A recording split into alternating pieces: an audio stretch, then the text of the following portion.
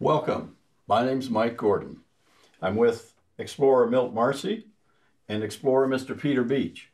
They are hunters for uh, species that are thought to no longer exist, and one that uh, they've searched for and have sightings of themselves and uh, would like to talk more about is a pterosaur, of which there are multiple um, variations. So we want to talk about pterosaurs. Milt, these pterosaurs lived apparently during the dinosaurs, when the dinosaurs lived. Why aren't they called dinosaurs?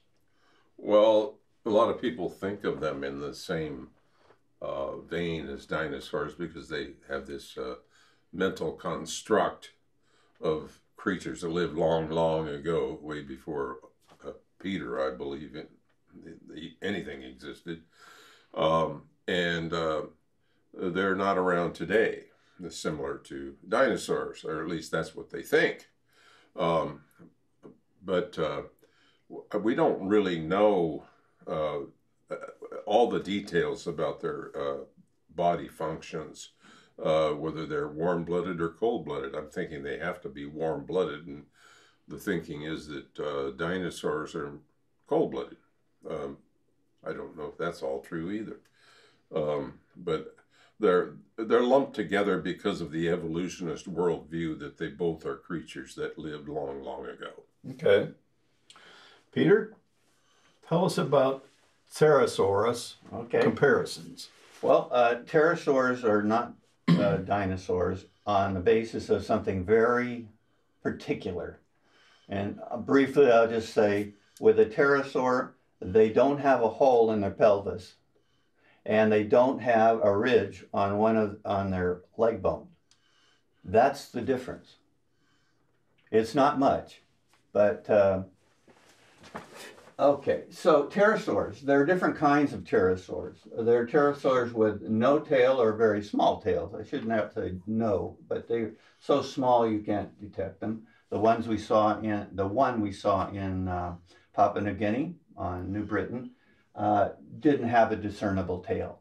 Let me interrupt for a second. Peter and Milt went on an expedition to Papua New Guinea where they saw a species of the Ceratosaurus, mm-hmm. and that's what Peter's referring to now.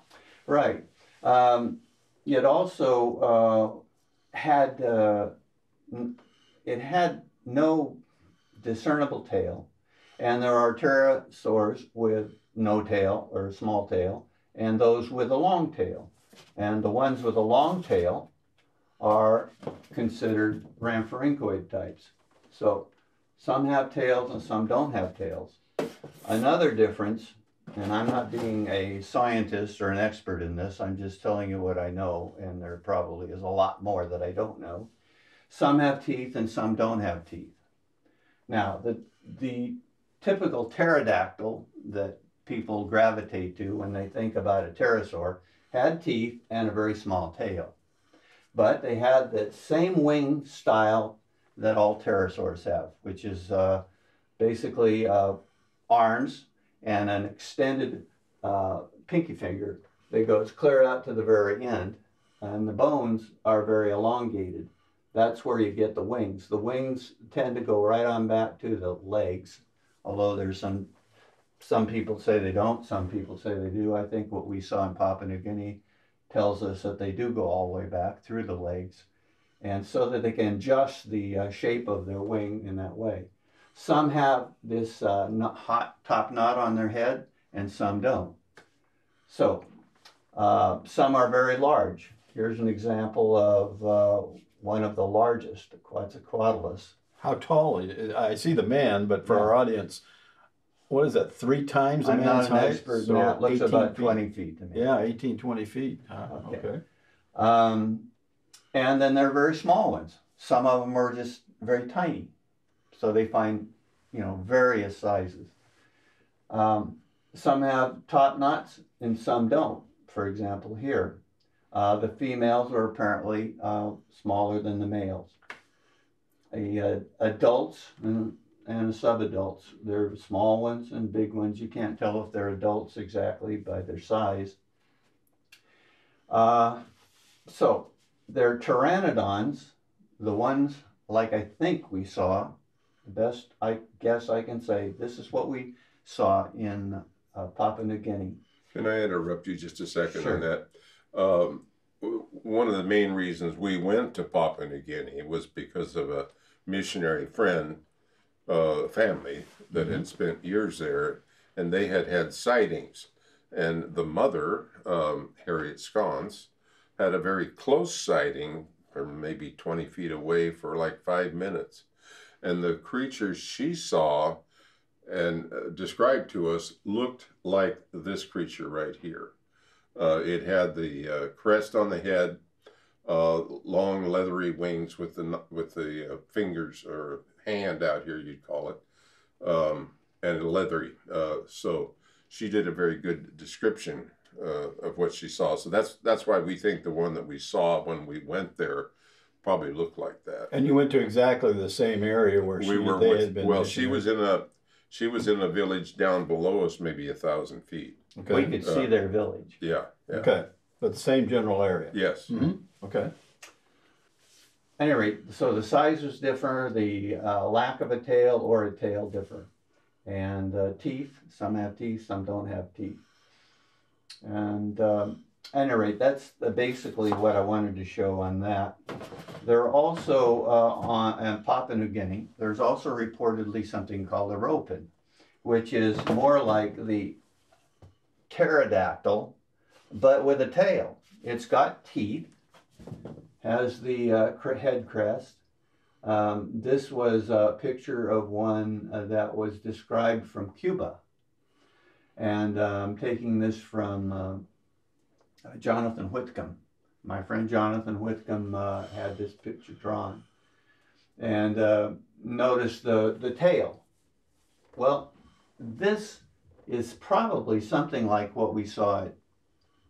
It's speculation completely but probably what we have in uh, a smaller version in uh, um, Yakima on the Near Yakima, Yakima River. expedition. Yeah, okay. something like that. Mhm.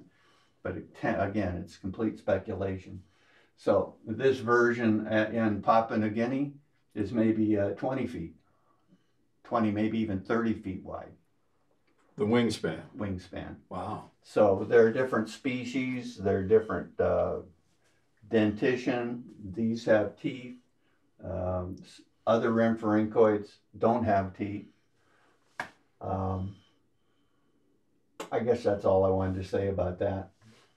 Okay. And these these are the ones now the ones that you were hunting when you went on your Yakima expedition. Which one did you say I think it's something It's like, like this, that one? only it has no teeth.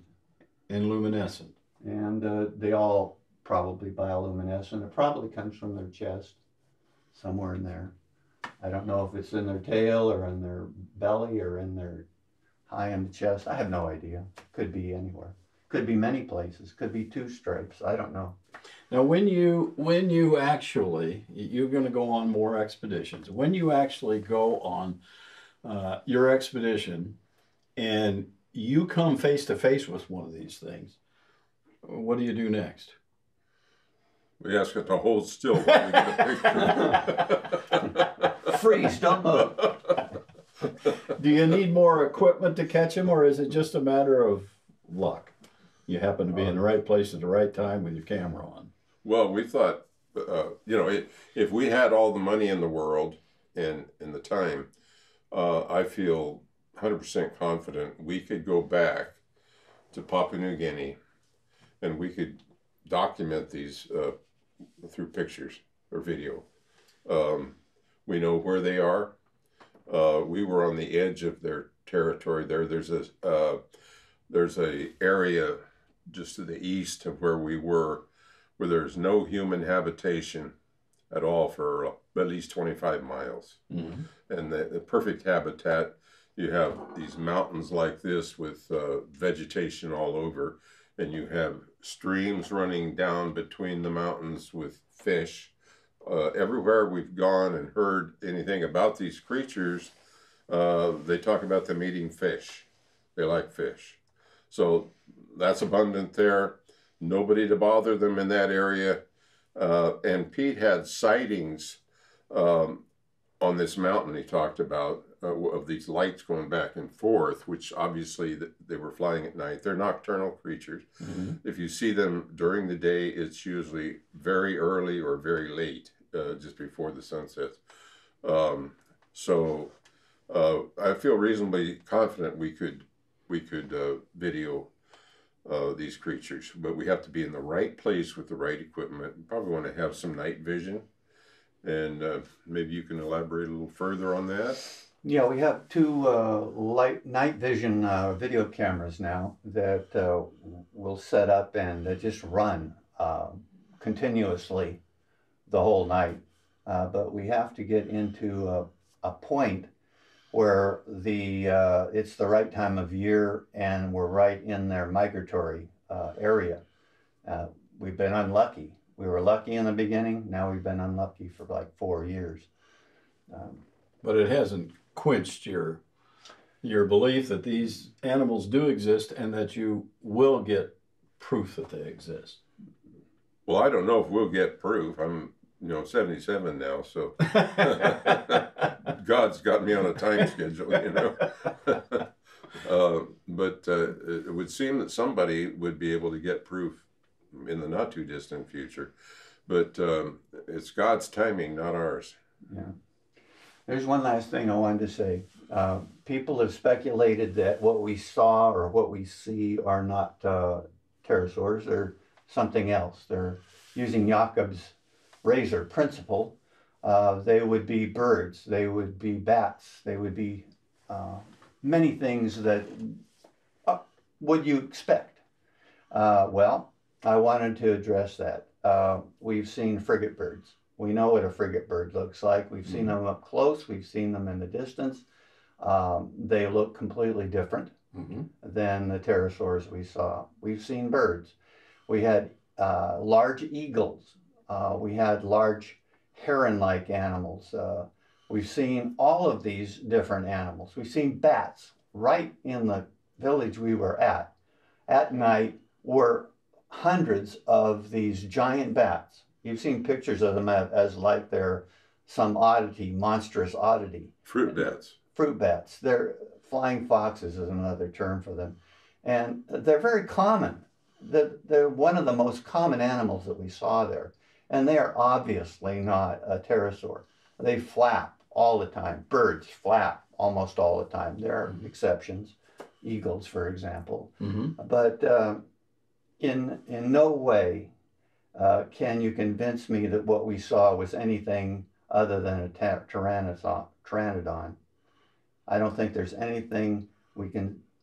I can't prove that it's pteranodon until we actually have one in our hands, but it certainly was too big for any other bird, and it moved in a way that no other bird does. It doesn't have feathers. Mm-hmm. You can see a, a soaring bird usually has feathers out to the side like this at the end, at the tips. This didn't have that. It had a crescent, a completely, uh, complete leathery uh, build to its wings. Nothing uh, uh, like that is uh, like a bat. A bat has has bones in its wings and it flaps almost continuously.